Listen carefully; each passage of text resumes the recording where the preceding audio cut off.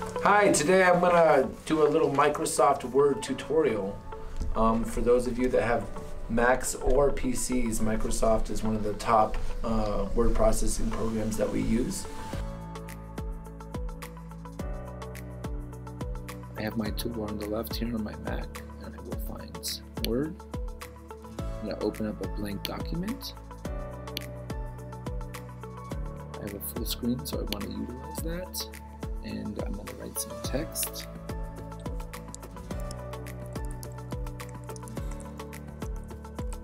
If you notice, hey, sometimes you make spelling mistakes, sometimes you can right click it and uh, it'll automatically fix it.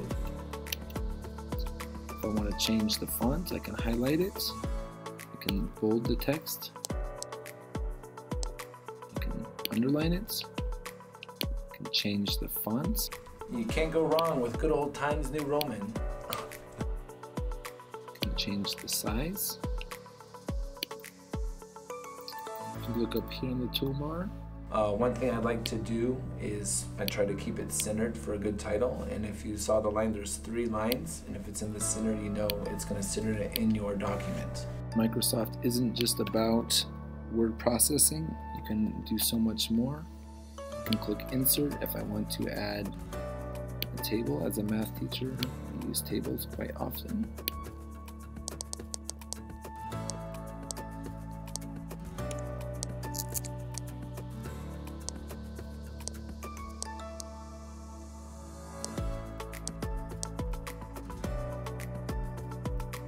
At this point, you can also add other stuff. You can add images.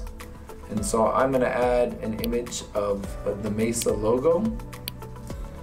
And as I insert it, there's a couple things you can do to move that around. You can move it around. I like to change the arrangement.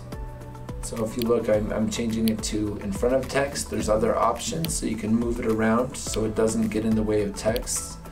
You can use the little boxes in the corner to shrink or enlarge your, your image and place it where you want to.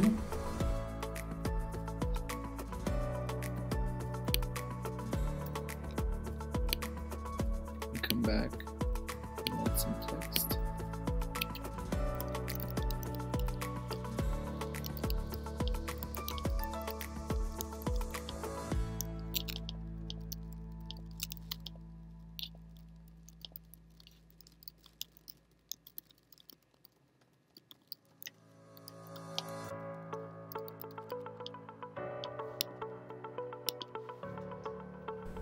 At this point, I'm gonna save it and you can click save or the little disk button in the top left, but I wanna choose save as because if I use save as, it can, uh, I can kind of place it anywhere to start with.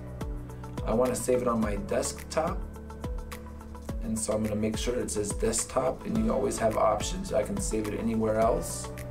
Um, and I want to rename this. I want to make this um, Facebook Community Action Grant because that's our partnership for this uh, series of videos that we're making.